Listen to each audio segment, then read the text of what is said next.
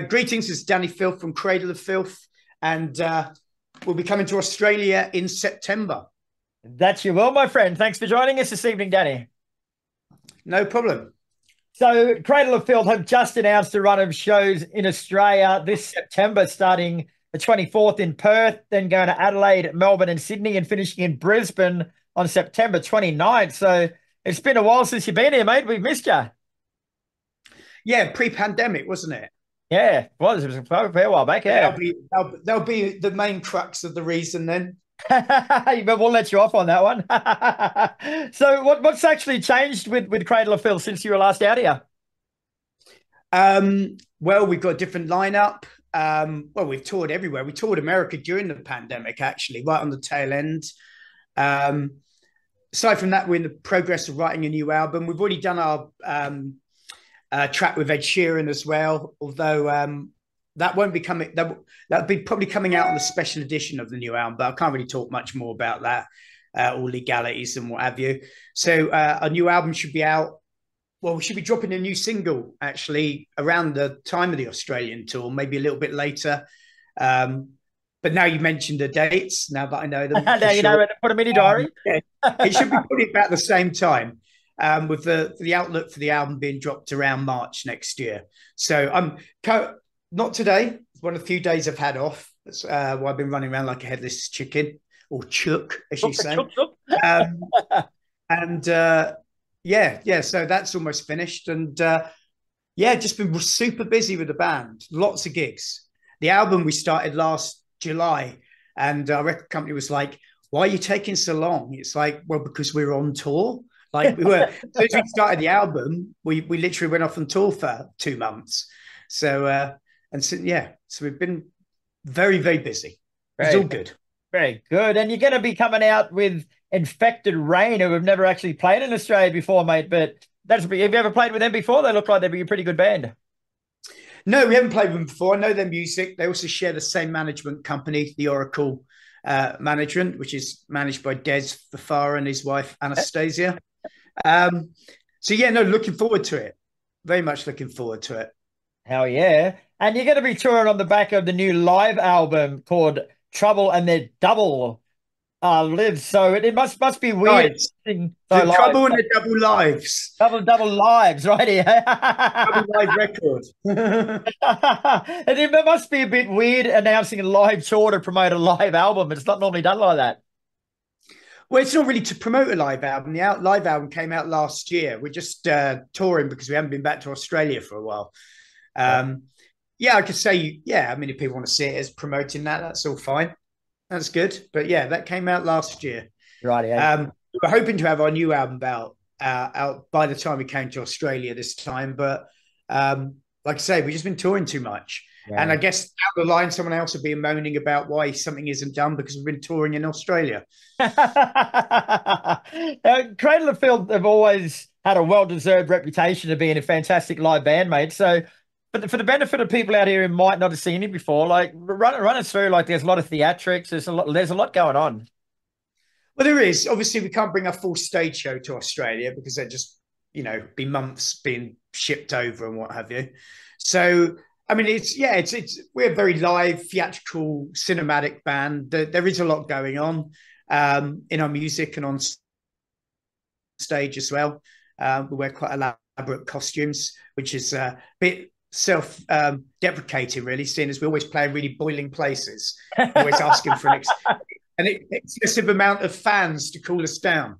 Um, Australia, no doubt, will be the same.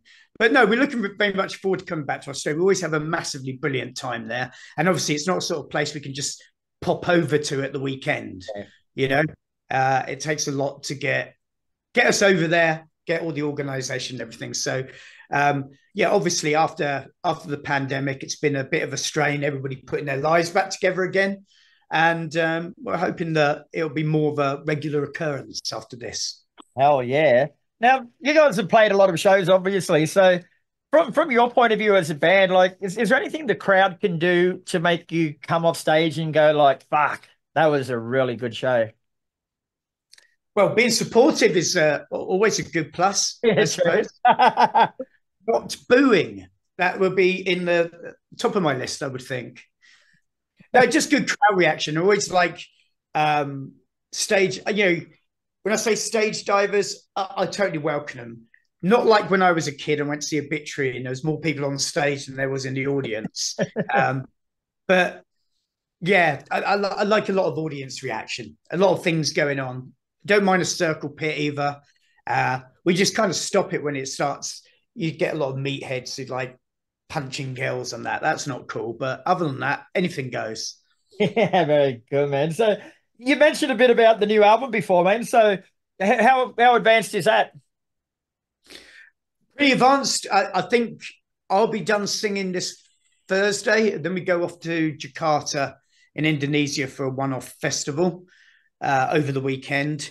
And when we come back, we begin the mixing process. So it's all supposed to be wrapped up, done and dusted by the beginning of June, he says. Add on a couple of weeks just for, you know, just for those last minute edits where you go wake up at half two in the morning sweating because there's a there's a beat you think you don't like or something somewhere on the album. But no, it should should be done by then, and then we begin, you know, the task of videos and which is also another task for us because we're going to be shooting them in the Czech Republic uh, on the back end of um, starting our summer festival run. Nice. Is that because like the the theme you sort of want to go with with the videos matches what's happening in Czech, or is it just work out because that's where you'll be? That's because that's where we'll be. Yeah, nothing. Yeah, our, our, band is like almost galactic at the moment. You know, um, well, if you leave off space, so maybe not. uh, you've got two people in America, uh, one person in England, which is me. Used to be an English band, Scottish uh, bass player, and two people in the Czech Republic, and our crew from all around the world. So the Czech Republic is kind of our um, central meeting hub. Yeah, right. Yeah, cool. So on, on the subject of recording albums and stuff, man, like, are you the sort of person? Because these days there seems to be a lot of time between an album being finished and when it comes out. So I think you're the sort of man that you put it to bed once you've done, you've done, or do you sort of lay there and, like you say, wake up at four o'clock in the morning and go, I want to go back and change that? Well, it'd be a, yeah, to a certain degree, and then when it's once it's done, it really is done. Uh, because obviously, you know, the studio, the ball gets you know wiped. You know you obviously can revisit it uh, in a in a complete disaster but um no no we we, we give ourselves a window of about a month yeah. just to be sure. Um but once it's actually done nailed in the coffin sent off to the uh rc then uh yeah i'm afraid that's it. What about what about the new music, mate? Like, is it is it what people would expect from the band, or um, I know you mentioned experimenting a couple of times on the last album, but is it going further? It's a step a step on from the last record. Same production values, same producer. Uh, although we always approach it from a different way, so it does sound a lot different. Um, I can't go too much into it because uh, no matter what I say, it's not really going to justify or or do do justice to um, to the tracks on there. It's very hard to explain. It's got essence, Dusk and Her Embrace, vibe wise. Um, vocally, it's it's a it's a bit of everything. It's it's it's an aggressive record. It's a very catchy record. Um, yeah, it's it's something that's going to very please our fans. Um, we've worked very hard on it, and last record was received really well. Existence is futile. I guess this is uh, coming to Australia is really us touring that record because we didn't tour that record. Um, so yeah, um, yeah, it's an advancement from that. But yeah. like I say, it's not because I'm being told not, you know, keep it calm. We can't talk about the record yet. It's just it's very difficult to talk about something that's got so much, so much in it. Yeah. So speaking of that album, last album, Existence is Futile, like when it came out back in 2021, and it was described in your press release as a wholly different beast to its immediate predecessors.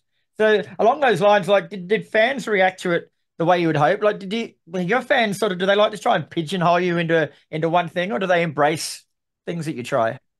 Uh all kinds of reactions really. Um yeah. our fans appreciate what we do. It's usually the the bystanders always you know, picking holes in things.